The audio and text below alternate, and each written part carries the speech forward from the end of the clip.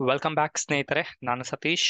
ನಮ್ಮ ಇವತ್ತಿನ ವಿಡಿಯೋದ ಮುಖಾಂತರ ನಿಮಗೆ ಮ್ಯೂಚುವಲ್ ಫಂಡ್ ಅಲ್ಲಿ ನೀವು ಇನ್ವೆಸ್ಟ್ಮೆಂಟ್ಸ್ ಮಾಡೋಕ್ಕೇನಾದರೂ ಯೋಚನೆ ಮಾಡಿದ್ರೆ ಯಾವ ಒಂದು ಮ್ಯೂಚುವಲ್ ಫಂಡ್ ಅಲ್ಲಿ ಸೆಲೆಕ್ಷನ್ ಮಾಡಬೇಕು, ಅದ್ರ ಜೊತೆಗೆ ಕೆಲವೊಂದು ಕ್ರೈಟೀರಿಯಾ ಅನ್ನೋದನ್ನ ಫಾಲೋ ಮಾಡಬೇಕಾಗುತ್ತೆ. ಆ ಒಂದು ಕ್ರೈಟೀರಿಯಾನ ನಾವೊಂದು ಕೆಲವೊಂದು ಹಿಂಟ್ ಕೊಡ್ತಾ ಹೋಗ್ತೀನಿ. ಆ ಹಿಂಟ್ನ ನೀವು ತಗೊಂಡು ನಿಮ್ಮ ಒಂದು ಪ್ಲಾನಿಂಗ್ ಬೇಸಿಸ್ ಮೇಲೆ ಡಿಸಿಷನ್ ಮಾಡಿ ನೀವು ಯಾವ್ದು ಬೆಸ್ಟ್ ಮ್ಯೂಚುವಲ್ ಫಂಡ್ ಅದ್ರ ಬೇಸಿಸ್ ಮೇಲೆ ಇನ್ವೆಸ್ಟ್ಮೆಂಟ್ಸ್ ಮಾಡ್ಬೋದು. ಸುಮಾರು ಜನ ಹೇಳ್ತಾರೆ ಮ್ಯೂಚುವಲ್ ಫಂಡ್ ಅಲ್ಲಿ ಇನ್ವೆಸ್ಟ್ಮೆಂಟ್ಸ್ ಮಾಡಬೇಡಿ, ನೀವು ಡೈರೆಕ್ಟ್ ಆಗಿ ಇ ಟಿ ಎಫ್ ಮಾಡಿ ಹಂಗೆ ಹಂಗೆ ಅಂತ ಹೇಳ್ತಾರೆ. ಬಟ್ ನೀವು ನನ್ನ ಕೇಳಿದ ಸ್ನೇಹಿತರೆ, ನಾನು E T F share market ಅಲ್ಲಿ ಒಂದಷ್ಟು ಸ್ಟಾಕ್ಗಳು ಹೇಳ್ತಾರೆ ಬೇರೆ ಬೇರೆ ಒಂದು ಪ್ರಾಡಕ್ಟ್ ಅಲ್ಲಿ ಇನ್ವೆಸ್ಟ್ಮೆಂಟ್ ಮಾಡಿರೋ ಜೊತೆಗೆ ನನ್ನ ಆಲ್ಮೋಸ್ಟ್ ಒಂದು ತರ್ಟಿ ಪರ್ಸೆಂಟ್ ಇನ್ವೆಸ್ಟ್ಮೆಂಟ್ ಸಹ ಮ್ಯೂಚುವಲ್ ಫಂಡ್ ಅಲ್ಲಿ ಇದೆ. ತುಂಬಾ ಸಿಂಪಲ್ ರೀಸನ್ ಏನಕ್ಕೆ ಅಂತ ಹೇಳಿದ್ರೆ ಮ್ಯೂಚುವಲ್ ಫಂಡ್ ಏಜೆನ್ಸಿಗಳು ತುಂಬಾ ಬಿಗ್ ಇನ್ವೆಸ್ಟ್ಮೆಂಟ್ ಇಟ್ಟಿರುವಂತ ಒಂದು ಏಜೆನ್ಸಿಗಳು ಅವರ ಅಷ್ಟು ದೊಡ್ಡ ಇನ್ವೆಸ್ಟ್ಮೆಂಟ್ಸ್ಗೆ ಹಂಡ್ರೆಡ್ ಪರ್ಸೆಂಟ್ ಅವ್ರ ಹತ್ರ ಯಾವುದೇ ಒಂದು ಮಾರ್ಕೆಟ್ ಅಲ್ಲಿ ಅಥವಾ ಕಂಪನಿಯಲ್ಲಿ ನಡೆಯುವಂತ ಇನ್ಫಾರ್ಮೇಶನ್ಸ್ ಮುಂಚಿನ ಅವರಿಗೆ ಗೊತ್ತಾಗುತ್ತೆ. ಅದ್ರ ಬೇಸಿಸ್ ಮೇಲೆ ಅವ್ರ ಪೋರ್ಟ್ಫೋಲಿಯೋನ ಒಂದು ಮ್ಯಾನೇಜ್ಮೆಂಟ್ ಮಾಡ್ತಾ ಹೋಗೋದ್ರಿಂದ ನಮಗೆ ಒಂದು ಸ್ವಲ್ಪ ಅಡ್ವಾಂಟೇಜ್ ಸಿಗುವಂತ ಚಾನ್ಸಸ್ ಹೆಚ್ಚಿಗೆ ಇದೆ ಈ ಒಂದು ಮ್ಯೂಚುವಲ್ ಫಂಡ್ ಅಲ್ಲಿ. ಸ್ವಲ್ಪ ಕಮಿಷನ್ ತಗೊಂಬೋದು, ಇಲ್ಲ ನಾವು ಹೇಳೋಕೆ ಹೋಗೋದಿಲ್ಲ ಬಟ್ ಸ್ವಲ್ಪ ಕೊಟ್ಟು ಅವ್ರಿಂದ ಒಂದು point five point six percentage commission ತಗೊಂಡ್ರೆ ನಮಗೆ ನಮ್ಮ ಒಂದು ಇನ್ವೆಸ್ಟ್ಮೆಂಟ್ ಜೊತೆಗೆ ನಮ್ಮ ಒಂದು ಇನ್ವೆಸ್ಟ್ಮೆಂಟ್ನ ಗ್ರೋತ್ ಚೆನ್ನಾಗೋ ಒಂದು ಸಿಚುವೇಶನ್ಸ್ ಅಲ್ಲಿ ಮ್ಯೂಚುವಲ್ ಫಂಡ್ ಅಲ್ಲಿ ಇನ್ವೆಸ್ಟ್ಮೆಂಟ್ ಮಾಡಕ್ಕೆ ನಾನು ಸಜೆಷನ್ ಮಾಡ್ತೀನಿ. ಇಲ್ಲ, ನನಗೆ ಇಂಟ್ರೆಸ್ಟ್ ಇಲ್ಲ ಅಂತ ಹೇಳಿದ್ರೆ ಈ ವಿಡಿಯೋನ ನೀವು ಸ್ಕಿಪ್ ಮಾಡ್ಬೋದು. ಸರಿ ಸ್ನೇಹಿತರೆ, ಈ ಒಂದು ಮ್ಯೂಚುವಲ್ ಫಂಡ್ ಒಂದು ಇನ್ಫಾರ್ಮೇಶನ್ ಶೇರ್ ಮಾಡೋಕ್ಕಿಂತ ಮುಂಚೆ ನೆನ್ಪಿಟ್ಕೊಳ್ಳಿ. ನಾವು ಸೆಬಿ ರಿಜಿಸ್ಟರ್ಡ್ ಅಡ್ವೈಸರ್ಸ್ ಅಲ್ಲ, ನಾವು ಕೊಡುವಂತ ಇನ್ಫಾರ್ಮೇಶನ್ಸ್ ಎಕ್ಸಾಕ್ಟ್ಲಿ ನಿಮ್ಮ ಎಜುಕೇಶನ್ ಮತ್ತೆ ಲರ್ನಿಂಗ್ ಪರ್ಪಸ್ಗೆ ಮಾತ್ರ. ಸರಿ ಸ್ನೇಹಿತರೆ, ಆ, ಇದು ಶೇರ್ ಮಾಡೋಕ್ಕಿಂತ ಮುಂಚೆ ಈ ಪ್ರಾಡಕ್ಟ್ ಒಂದು ಶೇರ್ ಮಾಡೋಕ್ಕಿಂತ ಮುಂಚೆ ಮ್ಯೂಚುವಲ್ ಫಂಡ್ ಒಂದು ಪ್ರಾಡಕ್ಟ್ನ ಶೇರ್ ಮಾಡೋಕ್ಕಿಂತ ಮುಂಚೆ ಆಪ್ಷನ್ಸ್ ಗೀತ ಏನಾದರೂ ಆಪ್ಷನ್ ಬೈಯರ್ ಅಲ್ಲ ಆಪ್ಷನ್ ಬೈಯರ್ ಅಲ್ಲಿ ನೀವು ಲಾಸ್ ಮಾಡ್ಕೊತಿದ್ದೀರಾ? ಆಪ್ಷನ್ ಸೆಲ್ಲಿಂಗ್ ಅಲ್ಲಿ ನಿಮಗೆ ಸ್ವಲ್ಪ ಕಷ್ಟ ಆಗ್ತಿದೆ. ಮಾರ್ಜಿನ್ ಈ ರೀತಿ ಎಕ್ಸ್ ವೈ ಜಿ ರೀಸನ್ ಭಯ ಆಗುತ್ತೆ ಅನ್ಲಿಮಿಟೆಡ್ ಲಾಸು ಈ ರೀತಿ ಏನಾದ್ರು ಕನ್ಫ್ಯೂಷನ್ಗಳು ಇದೆ? ಆದ್ರೂ ನೀವು ಸ್ಟಾಕ್ ಮಾರ್ಕೆಟ್ ಅಲ್ಲಿ ಕನ್ಸಿಸ್ಟೆಂಟ್ ಆಗಿ ಒಂದು ಡೀಸೆಂಟ್ ಆಗಿ ಒಂದು ಡಿಸಿಪ್ಲೀನ್ ಆಗಿ ಒಂದು ಟ್ರೇಡ್ ಮಾಡಿ ಪ್ರಾಫಿಟ್ ಮಾಡಬೇಕು ಆಪ್ಷನ್ಸ್ ಮುಖಾಂತರ ಅಂತ ಹೇಳಿದ್ರೆ. ಒಂದು complete full fledge options Gita, Bhagavad Gita for option traders ಅಂತ ಒಂದು ಟೈಟ್ ಸಬ್ ಟೈಟ್ಲ್ ಕೊಟ್ಟಿದ್ದೀನಿ. ಸುಮಾರು ಟೈಟ್ಲ್ಗಳ ಇನ್ಫಾರ್ಮೇಶನ್ಸ್ ಎಲ್ಲ ನಾನು ಆಲ್ರೆಡಿ ಶೇರ್ ಮಾಡಿದ್ದೀನಿ. ಸೊ ಮಾರ್ಕೆಟ್, ಎಲ್ಲ ಮಾರ್ಕೆಟ್ ಕಂಡೀಷನ್ಸ್ ಇರೋದ್ರಿಂದ ಈ ಒಂದು ಕೋರ್ಸ್ನ ನೀವು ಎನ್ರೋಲ್ಮೆಂಟ್ ಆಗೋಕ್ಕೆ ಪ್ಲಾನಿಂಗ್ ಸಹ ಮಾಡ್ಕೊಬೋದು. ಈ ಒಂದು ಇನ್ಫಾರ್ಮೇಷನ್ಸ್ ಏನೋ ಹೆಚ್ಚಿಗೆ ಇನ್ಫಾರ್ಮೇಷನ್ಸ್ ಬೇಕಿತ್ತಂದ್ರೆ ನಮಗೆ ವಾಟ್ಸಪ್ ಮಾಡ್ಬೋದು nine six two zero two seven five two seven five okay ಸರಿ ಸ್ನೇಹಿತರೆ, ಈ ಒಂದು ಇನ್ಫಾರ್ಮೇಷನ್ಸ್ ಹೇಳಿದ್ಮೇಲೆ ಯಾವ ಒಂದು ಮ್ಯೂಚುವಲ್ ಫಂಡ್ ಅಲ್ಲಿ ಇನ್ವೆಸ್ಟ್ಮೆಂಟ್ ಮಾಡಬೇಕು ಅಂತ ನಿಮಗೆ ಫಸ್ಟ್ ಡೌಟ್ ಇರ್ಬೋದು ಓಕೆ ನೆನ್ಪಿಟ್ಕೊಳ್ಳಿ, ನಾವು ಯಾವ, ನಾನು ಯಾವುದೇ ಒಂದು ಕಂಪನಿ ಒಂದು ಮ್ಯೂಚುವಲ್ ಫಂಡ್ನ ನಿಮಗೆ ಸಜೆಷನ್ ಮಾಡ್ತಿಲ್ಲ. ನಿಮಗೆ ಯಾವ್ದು ಇಷ್ಟ ಆಗುತ್ತೆ ಅದನ್ನ ಸಜೆಷನ್ ಮಾಡಿ. ಬಟ್ ಒಂದು ನಿಮಗೆ ನಾನೇನು ಸಜೆಷನ್ ಮಾಡ್ತೀನಿ ಅಂತ ಹೇಳಿದ್ರೆ, ನೀವು ಯಾವ ಒಂದು ಬ್ಯಾಂಕ್ ಅಲ್ಲಿ ನಿಮ್ಮ ಸೇವಿಂಗ್ಸ್ ಬ್ಯಾಂಕ್ ಅಕೌಂಟ್ ಇಟ್ಕೊಂಡಿದ್ದೀರಾ, ಆ ಬ್ಯಾಂಕ್ ಅಲ್ಲಿ ನಿಮ್ಮ ಒಂದು ಮ್ಯೂಚುವಲ್ ಫಂಡ್ ಏಜೆನ್ಸಿ ಅವ್ರು ಏನಾದ್ರು, ಆ ಎ ಎಂ ಸಿ ಅಲ್ಲಿ ಏನಾದ್ರು ಇತ್ತು ಅಂತ ಹೇಳಿದ್ರೆ, ಅಲ್ಲಿ ನೀವು ಯಾವ್ದಾದ್ರು ಮ್ಯೂಚುವಲ್ ಫಂಡ್ನ ನೀವು ಓಪನ್ ಮಾಡಬಹುದು ಎಕ್ಸಾಂಪಲ್ ನೀವು H D F C bank ಅಲ್ಲಿ ಓಪನ್ ಮಾಡಿದ್ರೆ ಎಚ್ ಡಿ ಎಫ್ ಸಿ ಬ್ಯಾಂಕ್ನ ಮ್ಯೂಚುವಲ್ ಫಂಡ್ ಇದೆ. ಎಸ್ ಬಿ ಐ ಓಪನ್ ಮಾಡಿದ್ರೆ ಎಸ್ ಬಿ ಐ ಅಕೌಂಟ್ನ ಜೊತೆಗೆ ನೀವು ಅಲ್ಲಿನ ಒಂದು ಮ್ಯೂಚುವಲ್ ಫಂಡ್ನ ಇಡ್ಬೋದು. ಈ ರೀತಿ ಒಂದು ಪಾಯಿಂಟ್ ಇಟ್ಕೊಂಡು ನೀವು ಡಿಸಿಷನ್ ಮಾಡ್ಬೋದು, ಎಲ್ಲಿ ಮಾಡ್ಬೋದು ಅಂತ ಓಕೆ ಸೊ ನಾನು ಈ ಒಂದು ವಿಡಿಯೋದ ಮುಖಾಂತರ ಒಂದು ಮೂರು ನನಗೆ ನೆನ್ಪು ಬಂದಂತಹ ಒಂದು ಕೆಲವೊಂದು ಮ್ಯೂಚುವಲ್ ಫಂಡ್ನ ತಗೊಂಡಿದ್ದೀನಿ. ಆಡಿ ಹೇಳ್ತಿದ್ದೀನಿ, ಇದು ಒಂದು ಜಸ್ಟ್ ಎಜುಕೇಶನ್ ಲರ್ನಿಂಗ್ ಪರ್ಪಸ್ಗೆ ಮಾತ್ರ ನನಗೆ ಯಾವುದೇ ರೀತಿ ಒಂದು ಲಿಂಕ್ ಈ ಕಂಪನಿಗಳ ಜೊತೆ ಇಲ್ಲ ಓಕೆ ಸರಿ ಫಸ್ಟ್ ನೀವು ಡಿಸೈಡ್ ಮಾಡ್ಬೇಕು ಸ್ನೇಹಿತರೆ, ನೀವು ಮ್ಯೂಚುವಲ್ ಫಂಡ್ ಅಲ್ಲಿ ಯಾವ ಪರ್ಪಸ್ಗೋಸ್ಕರ ಇನ್ವೆಸ್ಟ್ಮೆಂಟ್ ಮಾಡ್ತಿದ್ದೀರಾ ಅಂತ? ನಿಮ್ಮ ಒಂದು ಫ್ಯೂಚರ್ ಏನಾದ್ರು ಒಂದು ಲಾಂಗ್ ಟರ್ಮ್ ಒಂದು ದೊಡ್ಡ ಇನ್ವೆಸ್ಟ್ಮೆಂಟ್ ಪರ್ಪಸ್ಗೋಸ್ಕರ ಏನಾದ್ರು ಮಾಡ್ತಿದ್ದೀರಾ? ಅಥವಾ ಒಂದು ರಿಟೈರ್ಮೆಂಟ್ ಪರ್ಪಸ್ಗೋಸ್ಕರ ಮಾಡ್ತಿದ್ದೀರಾ? ಇಲ್ಲ, ಒಂದು ಡಿವಿಡೆಂಟ್ ಪರ್ಪಸ್ಗೋಸ್ಕರ ಮಾಡ್ತಾ ಇದ್ದೀರಾ ಇಲ್ಲ ಸ್ಟಾಕ್ ಒಂದು ಗ್ರೋತ್ ಅಥವಾ ಇಂಡಿಯನ್ ಸ್ಟಾಕ್ ಮಾರ್ಕೆಟ್ನ ಗ್ರೋತ್ ಒಂದು ಕ್ಯಾಪ್ಚರ್ ಮಾಡೋ ಪರ್ಪಸ್ಗೋಸ್ಕರ ಮಾಡ್ತಾ ಇದ್ದೀರಾ ಇಲ್ಲ, ಯಾವ್ದಾದ್ರು ಒಂದು ಪರ್ಟಿಕ್ಯುಲರ್ ಥೀಮ್ ಬೇಸಿಸ್ ಮೇಲೆ ಎಕ್ಸಾಂಪಲ್ ಥೀಮ್ ಅಂತ ಹೇಳಿದ್ರೆ, ಇವಾಗಿನ ಒಂದು ಥೀಮ್ ಏನಂತ ಹೇಳಿದ್ರೆ, ಈ ಏನಂದ್ರೆ ಎಲೆಕ್ಟ್ರಾನಿಕ್ ವೆಹಿಕಲ್ಗಳ ಒಂದು ಥೀಮ್ ಸೊ ಎಲೆಕ್ಟ್ರಾನಿಕ್ ವೆಹಿಕಲ್ ಗಳಿಗೆ ಮ್ಯಾನುಫ್ಯಾಕ್ಚರ್ ಮಾಡುವಂತ ಕಂಪನಿಗಳಿಗೆ ಇನ್ವೆಸ್ಟ್ಮೆಂಟ್ ಮಾಡಬೇಕು. ಅದೊಂದು ಥೀಮು ಅದ್ರ ಜೊತೆಗೆ ನಿಮ್ಮ ಒಂದು ಮಕ್ಕಳ ಒಂದು ಎಜುಕೇಶನ್ ಈ ರೀತಿ ಒಂದು ಥೀಮ್ನ ನೀವು ಡಿಸೈಡ್ ಮಾಡಬೇಕು. ಅಥವಾ ಒಂದು ಆಬ್ಜೆಕ್ಟಿವ್ನ ಡಿಸೈಡ್ ಮಾಡಬೇಕು. ಡಿಸೈಡ್ ಮಾಡಿದ್ಮೇಲೆ ಅವ್ರು ಹೇಳಿದಂಗೆ ನಿಮಗೆ ಯಾವ ಮ್ಯೂಚುವಲ್ ಫಂಡ್ ಕಂಫರ್ಟ್ ಆಗುತ್ತೆ, ಆ ಮ್ಯೂಚುವಲ್ ಫಂಡ್ನ ನೀವು ಅಲ್ಲೇ ಹೋಗಿ ಕಾಂಟ್ಯಾಕ್ಟ್ ಮಾಡ್ಬೇಕಂತ ಏನಿಲ್ಲ. ವೆಬ್ಸೈಟ್ ಬನ್ನಿ, ಸ್ವಲ್ಪ ಎಫರ್ಟ್ ಹಾಕಿ ನಿಮಗೆ ಕಂಪ್ಲೀಟ್ ಇನ್ಫಾರ್ಮೇಷನ್ಸ್ ಕೊಡು. ನಿಮಗೆ ಸಿಗುತ್ತೆ ವೆಬ್ಸೈಟ್ ಅಲ್ಲಿ. ಅದ್ರ ಜೊತೆಗೆ ಸುಮಾರು ಜನ ಏಜೆನ್ಸಿಗಳ ಮುಖಾಂತರ ಬೈ ಮಾಡಿ ಹಂಗೆ ಹೆಂಗೆ ಅಂತ ಹೇಳಿದ್ರೆ ಬಟ್ ನಾನು ಏಜೆನ್ಸಿ ಮುಖಾಂತರ ನಿಮ್ಗೆ ಸಜೆಷನ್ ಮಾಡೋದಿಲ್ಲ. ಬಿಕಾಸ್ ಅವ್ರು ರೆಗ್ಯುಲರ್ ಮ್ಯೂಚುವಲ್ ಫಂಡ್ ಓಪನ್ ಮಾಡಿದ್ಮೇಲೆ ನಿಮ್ಮಿಂದ ಎಷ್ಟು ಇನ್ವೆಸ್ಟ್ ಮಾಡ್ತಾರೆ ಅದರಲ್ಲಿ ಕಮಿಷನ್ಸ್ ಹೋಗುತ್ತೆ. ಅದಕ್ಕೋಸ್ಕರ ಎಲ್ಲ ಮ್ಯೂಚುವಲ್ ಫಂಡ್ನ ಒಂದು ಡೈರೆಕ್ಟ್ ಒಂದು ಟೈಪ್ ಅಲ್ಲಿ ಇನ್ವೆಸ್ಟ್ಮೆಂಟ್ಸ್ ಮಾಡಿ. ಡೈರೆಕ್ಟ್ ಅಂದ್ರೆ ಡೈರೆಕ್ಟ್ ಆಗಿ ಮ್ಯೂಚುವಲ್ ಫಂಡ್ ನೀವು ಹಾಕ್ತಿದ್ದೀರಾ. ಯಾವುದೇ ರೀತಿಯ ಇಂಟರ್ಮೀಡಿಯಟ್ಗೆ ಕಮಿಷನ್ ಹೋಗೋದಿಲ್ಲ. ಜಸ್ಟ್ ಮ್ಯೂಚುವಲ್ ಫಂಡ್ ಏಜೆನ್ಸಿಗೆ ಒಂದು ಸ್ವಲ್ಪ ಕಮಿಷನ್ ಆಗುತ್ತೆ. Point three point four point five depending on the fund okay so ಅದಾದ್ಮೇಲೆ ನೀವು ಯಾವುದೋ ಒಂದು ಪರ್ಟಿಕ್ಯುಲರ್ ಮ್ಯೂಚುವಲ್ ಫಂಡ್ ಎಲ್ಲ ಮ್ಯೂಚುವಲ್ ಫಂಡ್ಗೆ ವೆಬ್ಸೈಟ್ಗಳ ಇದ್ದೇ ಇದೆ. ಸೊ ನಿಮ್ಗೆ ಯಾವ ಟಾಪ್ ನಿಮ್ಗೆ ಅನ್ಸುತ್ತೆ ಅದನ್ನ ಬಂದು ಡಿಸಿಷನ್ ಮಾಡಿಕೊಂಡು ಆ ಒಂದು ಕಂಪನಿಯ ಒಂದು ಪ್ರಾಡಕ್ಟ್ ಸೆಕ್ಷನ್ಗೆ ನೀವು ಹೋಗಬೇಕಾಗುತ್ತೆ. ಪ್ರಾಡಕ್ಟ್ ಸೆಕ್ಷನ್ಗೆ ಹೋದ್ಮೇಲೆ ನೀವು ನೋಡಿ ಇಲ್ಲಿ ಕೆಟಗರಿ ಅಂತ ಸಿಗುತ್ತೆ. ಇಲ್ಲಿ ನೋಡ್ಬೋದು ಡೈರ್ ಡೈವರ್ಸಿಫೈಡ್ ಈಕ್ವಿಟಿ ಅಂತಿದೆ ಇಂಡೆಕ್ಸ್ ಅಂತಿದೆ ಥೆಮ್ಯಾಟಿಕ್ ಅಥವಾ ಸೆಕ್ಟೋರಿಯಲ್ ಈಕ್ವಿಟಿ ಇದೆ. ಸುಮಾರು ಇದೆ ಹೈಬ್ರಿಡ್ ಅಂತ ಹೇಳಿದ್ರೆ ಎರಡು. ಡೆಟ್ ಮತ್ತೆ ಈಕ್ವಿಟಿಯ ಒಂದು ಪ್ರಾಡಕ್ಟ್ಗಳಲ್ಲಿ ಇನ್ವೆಸ್ಟ್ ಮಾಡ್ತಾರೆ. ಈ ರೀತಿ ಪ್ರಾಡಕ್ಟ್ಗಳನ್ನ ನಿಮ್ಗೆ ಯಾವ್ದು ಎಕ್ಸಾಂಪಲ್ ಅನ್ಕೊಳ್ಳಿ. ನಾನು ಸೆಕ್ಟೋರಿಯಲ್ ಈಕ್ವಿಟಿ ಅಥವಾ ಥಿಮ್ಯಾಟಿಕ್ ಒಂದು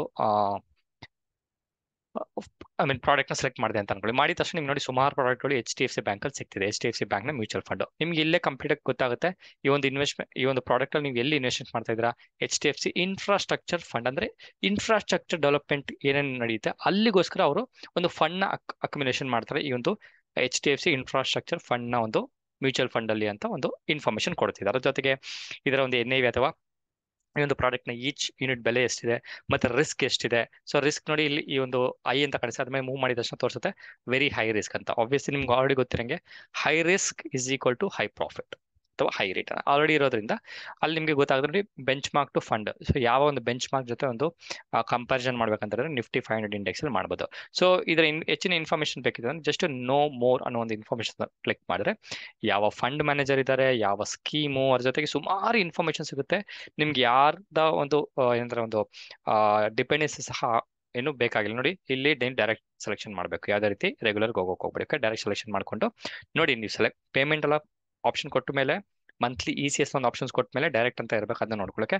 ನೋಡಿ, ಇದರ ಈ ಒಂದು ಫಂಡ್ ಒಂದು ಇನ್ಫಾರ್ಮೇಷನ್ಸ್ ಇಲ್ಲಿ ಕಂಪ್ಲೀಟ್ ಕೊಟ್ಟಿದ್ದಾರೆ, ಎಲ್ಲೆಲ್ಲಿ ಮಾಡ್ತಿದ್ದಾರೆ ಅಂತ okay so the portfolio invest mainly in three segments ಎಲ್ಲೆಲ್ಲಿ ಇನ್ವೆಸ್ಟ್ಮೆಂಟ್ ಮಾಡ್ತಾರೆ? Asset financiers banks and infrastructure financing company asset creators engineering ಮತ್ತು ಕನ್ಸ್ಟ್ರಕ್ಷನ್ ಕಂಪನೀಸ್ ಇನ್ವೆಸ್ಟ್ಮೆಂಟ್ ಮಾಡ್ತಾರೆ. ಮತ್ತೆ asset owners developers companies at own infrastructure projects so ಈ ರೀತಿ ಸ್ಟಾಕ್ಗಳಲ್ಲಿ ಅಥವಾ ಈ ರೀತಿ ಕಂಪನಿಯಲ್ಲಿ ಇನ್ವಾಲ್ವ್ಮೆಂಟ್ ಆಗಿರುವಂಥ ಕಂಪನಿ ಸ್ಟಾಕ್ಗಳಲ್ಲಿ ಇನ್ವೆಸ್ಟ್ ಮಾಡೋದ್ರಿಂದ ನಿಮಗೆ ಮಿನಿಮಮ್ ಅಮೌಂಟ್ ಎಷ್ಟು, ಯಾವಾಗಿಂದ ಸ್ಟಾರ್ಟ್ ಆಯಿತು ಸೊ ಎಷ್ಟು ಮಿನಿಮಮ್ ಅಷ್ಟಕ್ಕೆ ಇನ್ವೆಸ್ಟ್ ಮಾಡಿದ್ರೆ ನಿಮ್ಗೆ ಗ್ರೋತ್ ಆಗುತ್ತೆ ರೀತಿ ಸುಮಾರು ಇನ್ಫಾರ್ಮೇಶನ್ ಸಿಗೋದ್ರಿಂದ ಇಲ್ಲಿ ನೋಡಿ ನಿಮಗೆ ಟಿ ಇ ಆರ್ ಅಂತ ಇದೆ. ಟಿ ಇ ಆರ್ ಅಂದ್ರೆ ಟೋಟಲ್ ಎಕ್ಸ್ಪೆನ್ಸ್ ರೇಷನ್ ಆಡಿಯೋ ಎಕ್ಸ್ಪೆನ್ಸ್ ಎಷ್ಟೆಷ್ಟಿದೆ ಅಂತ ನೋಡಿ, ಇದರಲ್ಲಿ one point seven two seven two ಇದೆ ಸ್ವಲ್ಪ ಜಾಸ್ತಿ ಅಂತ ಹೇಳ್ಬೋದು. ಬಟ್ ನೋಡಿ, ಸುಮಾರು ರಿಸರ್ಚ್ ಮಾಡಿ ನಿಮ್ಮ ಒಂದು ಥೀಮ್ನ ಡಿಸೈಡ್ ಮಾಡಿ, ಅದ್ರ ಬೇಸಿಸ್ ಮೇಲೆ ನೀವು ಡಿಸಿಷನ್ ಮಾಡ್ಬೋದು. ಯಾವ ಫಂಡ್ ಬೆಸ್ಟ್ ಆಗುತ್ತೆ ಅಂತ ನೋಡ್ಬೋದು. ಈ ಒಂದು ಫಂಡ್ ಮ್ಯಾನೇಜರ್ ಯಾರು ಇರುತ್ತೆ ಸುಮಾರು ಇನ್ಫಾರ್ಮೇಶನ್ ಸಿಗುತ್ತೆ. ಅದ್ರ ಜೊತೆಗೆ ಸುಮಾರು ಎಕ್ಸೆಲ್ಗಳ ಒಂದು ಪಿ ಡಿ ಎಫ್ನ ಅಟ್ಯಾಚ್ಮೆಂಟ್ ಮಾಡೋದ್ರಿಂದ ಓಪನ್ ಮಾಡಿದ್ರೆ ನಿಮಗೆ ಅಲ್ಲೇ ಕಂಪ್ಲೀಟ್ ಇನ್ಫಾರ್ಮೇಶನ್ ಸಿಗುತ್ತೆ. ಈ ಒಂದು ಸ್ಟಾಕ್ ಅಥವಾ ಈ ಒಂದು ಫಂಡ್ ಎಲ್ಲೆಲ್ಲಿ ಇನ್ವೆಸ್ಟ್ಮೆಂಟ್ಸ್ ಮಾಡ್ತಿದ್ದಾರೆ ಅಂತ ಮಾಡ್ಬೋದು. ಇದು ಎಚ್ ಡಿ ಎಸ್ ಎಲ್ ಒಂದು ಐಡಿಯಾ ಕೊಟ್ಟಿದ್ದೀನಿ. ಇದ್ರ ಜೊತೆಗೆ ಇಲ್ಲ, ನನ್ನ ಹತ್ರ ಎಸ್ ಎಸ್ ಬಿ ಐನ ಅಕೌಂಟ್ ಇದೆ ಅಂತ ಹೇಳಿದ್ರೆ S same S B I website ಬನ್ನಿ. ಎಸ್ ಬಿ ಐ ವೆಬ್ಸೈಟ್ ಬಂದ್ಮೇಲೆ ಸಾರಿ ನೋಡಿ, ಇಲ್ಲಿ ನಿಮಗೆ ಬ್ರೌಸ್ ಅಂಡ್ ಇನ್ವೆಸ್ಟ್ಮೆಂಟ್ ಇದೆಯಲ್ಲ, ಇದನ್ನು ಕ್ಲಿಕ್ ಮಾಡಿ ನೋಡಿ, ಸುಮಾರು ಫಂಡ್ಗಳಿದೆ ನಾನು ಜಸ್ಟ್ ವ್ಯೂ ಆಲ್ ಸ್ಕೀಮ್ಸ್ ಅಂತ ಕ್ಲಿಕ್ ಮಾಡ್ತೀನಿ. ಸೊ ಸ್ಕೀಮ್ಸ್ ಕ್ಲಿಕ್ ಮಾಡಿದ್ಮೇಲೆ ನಿಮಗೆ ಸುಮಾರು ಪ್ರಾಡಕ್ಟ್ಗಳು ಬರುತ್ತೆ ಇಲ್ಲೂ ಸಹ ನೀವು ನೀವು ಅಮೆಝಾನ್ ಫ್ಲಿಪ್ಕಾರ್ಟಲ್ಲಿ ಶಾಪಿಂಗ್ ಮಾಡ್ಬೇಕಾದ್ರೆ ಯಾವ ರೀತಿ ಮಾಡ್ತೀರಾ ಅದೇ ರೀತಿ ಫಿಲ್ಟರ್ಗಳು ಸಿಗುತ್ತೆ. ಒಳ್ಳೆ ಒಂದು ಫ್ಯೂಚರ್ ಅಂತ ಹೇಳ್ಬೋದು. ಇಲ್ಲಿ ಬಂದು ನೀವು ಕ್ಲಿಕ್ ಮಾಡಿ ನೋಡಿ S B I Magnum children's benefit fund ನಿಮ್ಮ ಒಂದು ಮಕ್ಕಳಿಗೋಸ್ಕರ ಇನ್ವೆಸ್ಟ್ ಮಾಡೋಂಗಿತ್ತಂದ್ರೆ ಅದ್ರಲ್ಲಿ ಮಾಡ್ಬೋದು. ನೋಡಿ ಮಿನಿಮಮ್ ಐನೂರು ರೂಪಾಯಿ ಅಮೌಂಟು ಸೊ ಜೊತೆಗೆ S B I Nifty small cap two fifty index fund ಮಾಡ್ಬೋದು. ಈ ರೀತಿ ಸುಮಾರು ಇದೆ ನೋಡಿ ನಿಮಗೆ ಇಲ್ ಯಾವುದು ಇಲ್ಲ ಅಂತ ನೀವು ಹೇಳಕ್ಕೆ ಬರೋದಿಲ್ಲ. ಯಾವುದಾದ್ರೂ ಒಂದು ಏನೋ ಟೈಪ್ ನಿಮ್ಗೆ ಇದೆ ನೋಡಿ. ಇನ್ಕಮ್ ಜನರೇಟ್ ಇನ್ಕಮ್ ನಿಮಗೆ ಮಂತ್ಲಿ ಇನ್ಕಮ್ ಅಥವಾ ಆನ್ಯುವಲ್ ಇನ್ಕಮ್ ಬೇಕು, ಅದ್ರ ಬೇಸಿಸ್ ಒಂದು ಫಂಡ್ ಬೇಕಿತ್ತು ಅಂದ್ರೆ ನೀವು ಕ್ಲಿಕ್ ಮಾಡಿದ ತಕ್ಷಣ ನೋಡಿ. ಓಕೆ ಒಂದು ನಿಮಿಷ.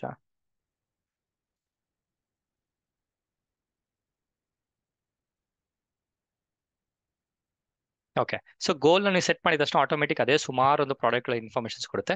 ಅದ್ರ ಬೇಸಿಸ್ ಮೇಲೆ ಸಹ ನೀವು ಡಿಸಿಷನ್ ಮಾಡ್ಬೋದು. ಹೆಂಗೆ ಅಂತ ಸ್ವಲ್ಪ ಇದು ರಿಫ್ರೆಶ್ ಮಾಡ್ಬೇಕು ಅನ್ಕೊಂತೀನಿ. ಒಂದು ನಿಮಿಷ.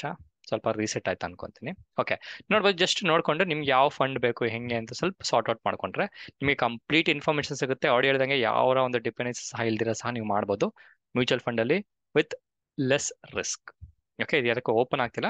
ಬಟ್ ನೋಡ್ಕೊಳ್ಳಿ, ಸ್ವಲ್ಪ ಒಂದು ರಿಸರ್ಚ್ ಮಾಡ್ಕೊಂಡು ಆಡಿ ಹೇಳ್ದಂಗೆ ನಿಮಗೆ ಸ್ವಲ್ಪ ಒಂದು ಐಡಿಯಾ ಬರಲಿ ಅನ್ನೋ ಪರ್ಪಸ್ಗೋಸ್ಕರ ಒಂದು ವಿಡಿಯೋನ ಮಾಡ್ತಾ ಇದ್ದೀನಿ. ಇದು ಎಸ್ ಬಿ ಐ ಅದ್ರ ಜೊತೆಗೆ U T I mutual mutual ಫಂಡಲ್ಲಿ ಏನಾದ್ರು ಮಾಡಬೇಕು ಅಂತ ಹೇಳಿದ್ರೆ, ಅದ್ರ ಜೊತೆಗೆ ನೀವು ಇಲ್ಲಿ ವೆಬ್ಸೈಟ್ ಬಂದಿದ್ದ ತಕ್ಷಣ ನೋಡಿ ಮ್ಯೂಚುವಲ್ ಫಂಡ್ ಇದೆ ಅಸೆಟ್ ಕ್ಲಾಸ್ ಇದೆ, ಎಲ್ಲಿ ಇನ್ವೆಸ್ಟ್ಮೆಂಟ್ ಮಾಡಬೇಕು?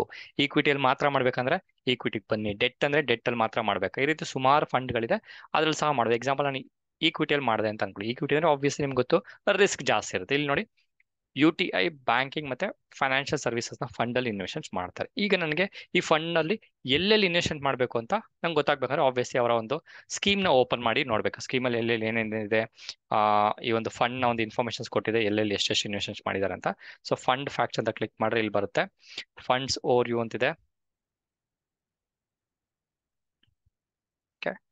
ಇದು ರಿಸ್ಕ್ ಸಹ ತೋರಿಸುತ್ತೆ. ಹಿಂಗೆ ಸ್ಕ್ರಾಲ್ ಡೌನ್ ಮಾಡ್ತಾ ಬಂದ್ರೆ ನೋಡಿ, ಇಲ್ಲಿ ನಿಮಗೊಂದು ಕೆಟಗರಿ ಸಿಗುತ್ತೆ ಇದು ಬಂದು ಪೋರ್ಟ್ಫೋಲಿಯೋ ಅಂತ. ಇದು ಎಲ್ಲ ಮ್ಯೂಚುವಲ್ ಫಂಡ್ ವೆಬ್ಸೈಟ್ಗಳಲ್ಲೂ ಸಿಗುತ್ತೆ. ನೀವು ಅವರ ಪಿ ಡಿ ಎಫ್ ಅಲ್ಲಿ ಓಪನ್ ಮಾಡಿ ನೋಡ್ಬೇಕು. ಇಲ್ಲಿ ಡೈರೆಕ್ಟ್ ಆಗಿ ಕೊಟ್ಟಿದ್ದಾರೆ. ಅದಕ್ಕೋಸ್ಕರ ನಿಮ್ಗೆ ಈಸಿ ಕಾಣಿಸುತ್ತೆ ಬಟ್ ಕೆಲವೊಂದು ವೆಬ್ಸೈಟ್ಗಳಲ್ಲಿ ಡೈರೆಕ್ಟ್ ಆಗಿ ಕೊಟ್ಟಿರೋದಿಲ್ಲ. ಪಿ ಡಿ ಎಫ್ನ ಓಪನ್ ಮಾಡಿ ಅಥವಾ ಎಕ್ಸೆಲ್ ಗಳನ್ನ ಓಪನ್ ಮಾಡ್ಕೊಂಡು ನೀವು ನೋಡ್ಕೊಬೇಕಾಗುತ್ತೆ ಓಕೆ ಅದು ಲಿಂಕ್ ಕ್ಲಿಕ್ ಮಾಡಿದ್ರೆ ಓಪನ್ ಆಗುತ್ತೆ. ನೋಡಿ, ಇಲ್ಲಿ ತೋರಿಸಿದೆ ಫೈನಾನ್ಷಿಯಲ್ ಸರ್ವಿಸಸ್ ಅಲ್ಲಿ ಇವರು almost ninety eight point five one percent investment ಮಾಡಿದ್ದಾರೆ.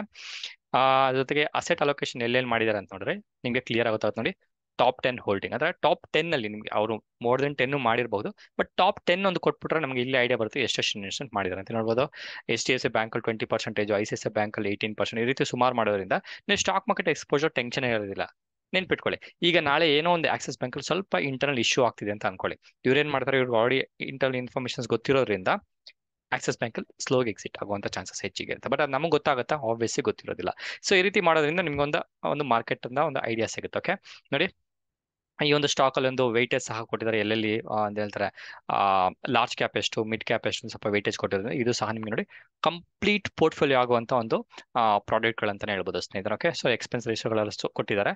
ಸೊ ಈ ರೀತಿ ಸುಮಾರು ಬಂದ್ರೆ ನೋಡಿ ಫಂಡ್ ಮ್ಯಾನೇಜರ್ ಕೊಟ್ಟಿದ್ದಾರೆ. ಇಬ್ರು ಪ್ರೀತಿ ಅಂತ ಒಬ್ರು ಇದ್ದಾರೆ ಮತ್ತೆ ಅಮಿತ್ ಅಮಿತ್ ಅಂತ ಒಬ್ರು ಇದ್ದಾರೆ. ಇವರ ಒಂದು ಹೆಚ್ಚಿನ ಇನ್ಫಾರ್ಮೇಶನ್ಸ್ ಬೇಕಿದ್ದಾರೆ ಜಸ್ಟ್ ಕ್ಲಿಕ್ ಮಾಡಿದ್ರೆ ಸಾಕು ಮೋರ್ ಅಂತ. ಅವ್ರು ಎಷ್ಟೆಷ್ಟು ಏನೇನು ಮಾಡಿದ್ದಾರೆ, ಎಷ್ಟು ರಿಟರ್ನ್ಸ್ ತಂದು ಕೊಟ್ಟಿದ್ದಾರೆ. ಈ ರೀತಿ ಸುಮಾರು ಇನ್ಫಾರ್ಮೇಶನ್ಸ್ಗಳು ಸಿಕ್ಕೋದ್ರಿಂದ. ಕಂಪ್ಲೀಟ್ ಒಂದು ಯಾರ ಡಿಪೆಂಡೆನ್ಸಿ ಇಲ್ದಿರ ಸಹ ನೀವು ಇನ್ವೆಸ್ಟ್ಮೆಂಟ್ಸ್ ಮಾಡಬಹುದು ಹೆಂಗ್ ಇನ್ವೆಸ್ಟ್ಮೆಂಟ್ ಮಾಡಬೇಕು? ಒಂದು ಪ್ರಾಡಕ್ಟ್ ಡಿಸಿಷನ್ ಮಾಡಬೇಕು ಅಂತ ಹೇಳಿದ್ರೆ, ಇಲ್ಲಿ quick sorry login or register ಅಂತಿದೆ ಬಂದು ಕ್ಲಿಕ್ ಮಾಡಿ, ನಿಮ್ಮ ಕಂಪ್ಲೀಟ್ ಯೂಸರ್ ನೇಮು ಮತ್ತೆ ನಿಮ್ಮ ಒಂದು ಪ್ಯಾನ್ ನಂಬರ್ ಎಲ್ಲ ಇರಬೇಕಾಗುತ್ತೆ. ಪ್ಯಾನ್ ನಂಬರ್ ಆಧಾರ್ ನಂಬರ್ ಎಲ್ಲ ಇರಬೇಕಾಗುತ್ತೆ. ಅಷ್ಟು ಇನ್ಫಾರ್ಮೇಶನ್ಸ್ಗಳನ್ನ ನೀವು ಫಿಲ್ ಮಾಡಿ ಡೀಟೇಲ್ಸ್ಗಳನ್ನ ಸಬ್ಮಿಟ್ ಮಾಡಿ ಕೆ ವೈ ಸಿನ ಕಂಪ್ಲೀಟ್ ಮಾಡಿದ್ಮೇಲೆ ನಿಮಗೆ ಸ್ಕ್ರೀನಲ್ಲಿ ಗೊತ್ತಾಗುತ್ತೆ ಯಾವ್ಯಾವ ಸ್ಟೆಪ್ಗಳು ಮಾಡಬೇಕು ಅಂತ. ಅದು ಆದಮೇಲೆ ನಿಮಗೆ ಎವ್ರಿ ಮಂತ್ ನಿಮ್ಮ ಒಂದು ಸೇವಿಂಗ್ಸ್ ಬ್ಯಾಂಕ್ ಅಕೌಂಟ್ನ ಲಿಂಕ್ ಮಾಡಿಕೊಟ್ಬಿಟ್ರೆ ಯಾವ ಡೇಟ್ಗೆ ಎಷ್ಟು ಅಮೌಂಟ್ ಡಿಡಕ್ಷನ್ ಆಗಬೇಕು, ಎಷ್ಟು ವರ್ಷ ಆ ಡಿಡಕ್ಷನ್ ಆಗಬೇಕು ಅಂತ ಆಟೋಮೆಟಿಕ್ ಫಿಲ್ ಮಾಡಿಬಿಟ್ರೆ ಎವ್ರಿ ಮಂತ್ ನೀವು ಯಾವುದೇ ರೀತಿ ಟೆನ್ಷನ್ ಇಲ್ಲದ್ರೆ ಅಮೌಂಟ್ನ ಆಟೋಮೆಟಿಕ್ ಆಗಿ ಅಕೌಂಟಲ್ಲಿ ಡಿಡಕ್ಷನ್ ಆಗುವಂಥ ಫೆಸಿಲಿಟಿನ ಎನೇಬಲ್ ಮಾಡಿಬಿಟ್ರೆ ಏನು ಟೆನ್ಷನ್ ಇಲ್ಲ, ನಿಮ್ಮ ಅಕೌಂಟ್ ಆಟೋಮೆಟಿಕ್ ಎವ್ರಿ ಮಂತ್ ಆ ಅಮೌಂಟ್ನ ಡೆಬಿಟ್ ಮಾಡ್ತಾ ಹೋಗುತ್ತೆ. ನಿಮ್ಮ ಅಕೌಂಟಲ್ಲಿ ಅಥವಾ ಈ ಮ್ಯೂಚುವಲ್ ಫಂಡ್ ಅಕೌಂಟಲ್ಲಿ ಇಷ್ಟು ಯೂನಿಟ್ಸ್ಗಳನ್ನ ಕ್ರೆಡಿಟ್ ಮಾಡ್ತಾ ಹೋಗ್ತಾರೆ. ಟೆನ್ಷನ್ ಇಲ್ಲದೆ ನೀವು ಆರಾಮಾಗಿರ್ಬೋದು. ಹೆಂಗ್ ಅನ್ನಿಸ್ತು ಈ ಒಂದು ವಿಡಿಯೋದ ಒಂದು ಇನ್ಫಾರ್ಮೇಶನ್ ಸ್ನೇಹಿತರೆ. ಸೊ ಇಷ್ಟ ಆಗಿತ್ತು ಅಂತ ಹೇಳಿದ್ರೆ ಲೈಕ್ ಮಾಡಿ, ಮತ್ತೆ ಜೊತೆಗೆ ನಿಮ್ಮ ಒಂದು ಇನ್ಪುಟ್ ಯಾವ್ದಾದ್ರು ಒಂದು ಮ್ಯೂಚುವಲ್ ಫಂಡ್ನ ಒಂದು ಇನ್ವೆಸ್ಟ್ಮೆಂಟ್ ಮಾಡಿ, ಏನಾದ್ರು ಪ್ರಾಫಿಟ್ ಮಾಡಿದ್ದೀರಾ ಅಥವಾ ಪ್ರಾಬ್ಲಮ್ ಆಗಿದೆ ಏನಾದ್ರು ಒಂದು ಕಮೆಂಟ್ ಹಾಕಿ ನೋಡೋಣ. ನಿಮ್ಮ ಒಂದು ಫೀಡ್ಬ್ಯಾಕ್ ಹೆಂಗಿದೆ ಅಂತ ತಿಳ್ಕೊಳ್ಳೋ ಪರ್ಪಸ್ಗೋಸ್ಕರ ಸರಿ ಸ್ನೇಹಿತರೆ, ಈ ಒಂದು ವಿಡಿಯೋ ಇಷ್ಟ ಆಗಿದೆ ಅಂತ ಅನ್ಕೊಂತೀನಿ. ಮತ್ತೊಂದು ವಿಡಿಯೋದಲ್ಲಿ ಮೀಟ್ ಮಾಡೋಣ ಅಲ್ಲಿವರೆಗೂ. ನಾನು ಸತೀಶ್, ನಮಸ್ಕಾರ.